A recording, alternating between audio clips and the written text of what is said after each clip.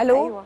أهلا بيكي. أيوه أيوه إزيك يا مدام دعاء؟ إزيك يا الحمد دعاء؟ لله تمام. أهلا بحضرتك. الحمد لله. وازاي ودي فضيله الشيخ كل سنة وأنتم طيبين؟ حضرتك طيب. آه أيوه. أنا دلوقتي كنت حلفت آه، كنت بروح عند ناس قرايبي في البلد. مم. كنت نفسيا برتاح عندهم يعني. مم. فحصلت لي ظروف إن رجليا وقفت فجأة كده. فحلفت بقى إن أنا مش رايحة عندهم تاني. مم. فقلت وعهد الله ما أنا رايحه تاني. مم. فأنا نفسيا فعلا الناس دي كانوا بالنسبة لي كويسين. آه. وأنا بروح طبعا واخدة حاجتي معايا وما يعني ما, ما بيعملوليش حاجة يعني. غير إن أنا بعيش وسطهم بتنفس. عشان أنا, أنا عندي جوزي عنده 80 سنة وأنا عندي 70 سنة. فهو من يوم ما اتجوزت هو راجل صعب جدا.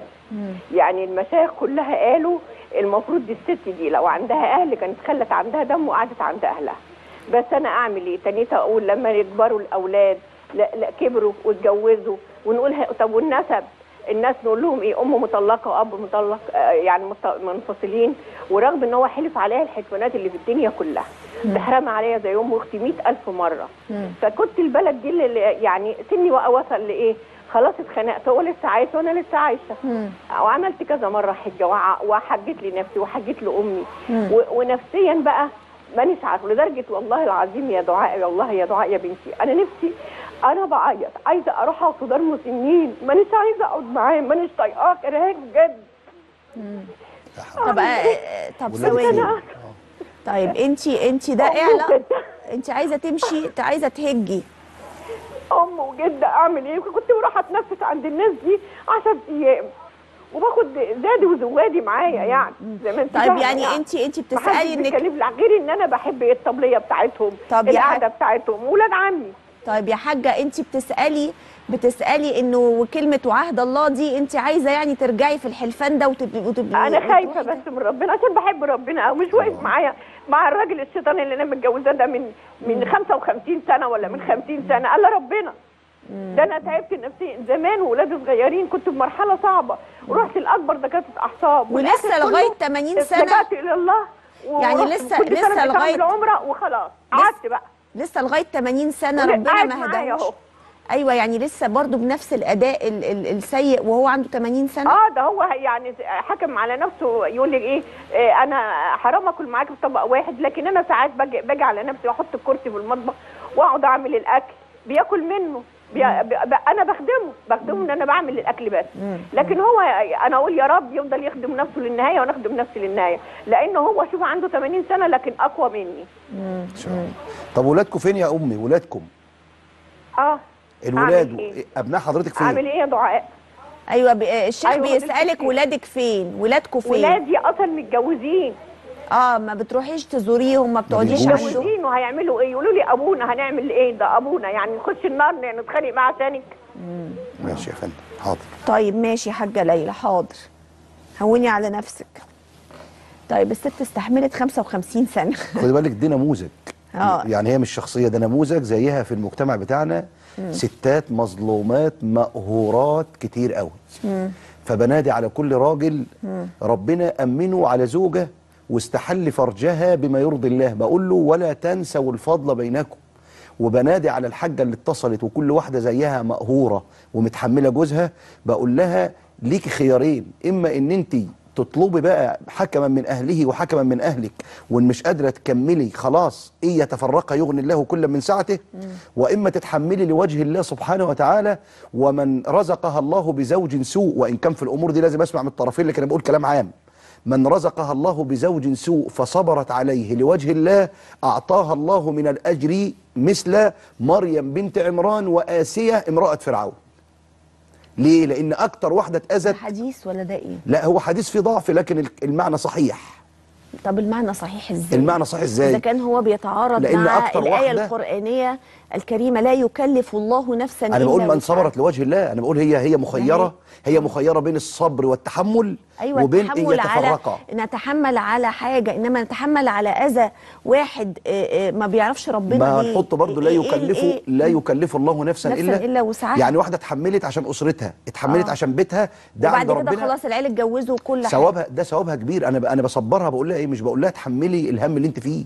بقول لها اللي فات ده كله عند ربنا احتسبيه هتلاقي لأجرك لأن أكتر واحدة اوذيت في التاريخ هي آسية امرأة فرعون ولذلك القرآن خلدها. فمهما يكون أي زوج في الدنيا مش هيعمل زي ما عمل فرعون. مش بنقلل من قدر الإهانة ولا بنقلل من قدر القهر اللي هي فيه. ولا إحنا ما- لا إحنا ضد ده. لكن أنا بقول شوف عشان ما عشان لا، يعني آسية. أقصد إنه آسية إيه؟ زوجها كان إيه؟ امرأة فرعون. زوجها كان إنه بيقول إنه إيه الصبر على إيه؟ الأذى يعني له حدود. ممكن واحدة ما تصبرش وتاخد الأجر برضه. أيوه طبعا. على أذى طبعاً، واحد طبعاً. بي بي بي بيعاملها س- معاملة سيئة. طبعا مليون في المية. أنا أنا أنا بقول لو لو لو قدرت تصبر آه. لو عرفت تيجي على نفسها مش قادر اصبر خلاص مش حرام إن تطلب الطلاق مش حرام إن أنا إن ربنا قال سبحانه وتعالى وإن يتفرقا يغني الله كل من سعته. حرام ده بتقول لك ده أنا بعمل الأكل ما بياكلش معاه في طبق واحد. طب إزاي؟ ده إذا كان ربنا سبحانه وتعالى قال ومن آياته أن جعل أن خلق لكم من أنفسكم أزواجا لتسكنوا إليها. دي تركت أبوها وأخوها وأمها وأهلها واترمت في حضنك. طيب. فاتق الله فيها وما لا ترضاه لبناتك لا ترضاه لبنات الناس. طيب هي ت... ت... وقالت وعهد الله ما أنا رايحه لهم تاني عليها بس كفارة يمين. آه، تطعم تص- عشرة مساكين آه. إن لم تستطع الإطعام يبقى تصوم ثلاثة أيام متفر... يعني مجتمعين أو متفرقين ما فيش مشكلة. آه. ثم تذهب. قال تعالى ولا تجعلوا الله عرضة لأيمانكم. بس أنا ليا تعليق صغير يا أستاذة ممكن؟ اتفضل طبعا. التعليق الصغير ليه أنا كزوج أوصل زوجتي بعد خمسين سنة عشرة إن هي تحلف وتبكي على الهوى وتقول ده أنا قاعدة في جحيم. ليه؟ أنا عايز أعرف ليه؟ اتقوا الله. ولذلك لما نتكلم في الحساب في في السلسلة بتاعتنا هناك بقول لحضرتك أول من يختصم بين يدي الله يوم القيامة أول اتنين هيقفوا بين إيد ربنا يوم القيامة يتحاسبوا الزوجين. الست تمسك في خناق جوزها وزوجها يمسك في خناقها. المظلوم هياخد مظلمته والظالم هيعاقب. فالزوج. هيسأل عن زوجته والزوجة هتسأل عن زوجها. بكل ما تحمله أول من يختصما الأزواج يوم القيامة بين يدي الله.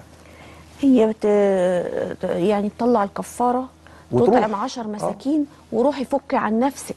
آه. الستات تفك عن نفسها يا فضيلة وبعدين ربك الشيخ. يا فندم ربك ما سابش الموضوع ليه كده. ليه ليه تقعد مقهورة؟ إيه ده خلاص عندها 70 سنة هقول هقول؟ كلمة ممكن بعض الناس يزعلوا مني. الكلمة اللي عايز أقولها وليه أنت بتحملي ده كله؟ ليه ساكتة؟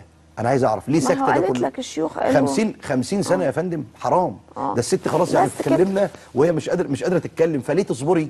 أنا عايز أعرف. مش إن أنا بحرض الناس على الطلاق ولا التفريق عشان الناس ما يفهموش غلط. لا أنا بحرض الناس على إن هو ما يسيبش حقه. ما ما تبقيش مذلولة ما تبقيش مهانة ما تبقيش مقهورة.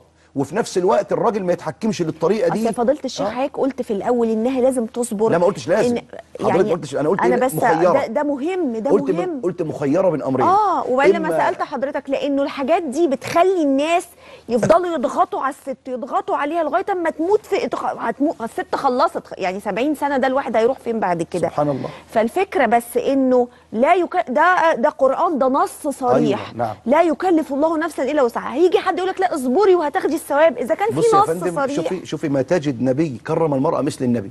سيدنا النبي ولا كتاب كرم المرأة مثل القرآن ولا طيب. دين كرم المرأة مثل الإسلام. سيدنا النبي قال أوصيكم أو استوصوا بالنساء خيرا. رفقا بالقوارير. والعلماء قالوا ما أهانهن إلا كريم وما أهانهن إلا لئيم وما أكرمهن إلا كريم. وسيدنا النبي قال اتقوا الله في النساء. وقال أحرج عليكم حق الضعيفين اليتيم والمرأة. تمام. فزوجتك هتيجي تمسك في رقبتك يوم القيامة يا لك يا عليك.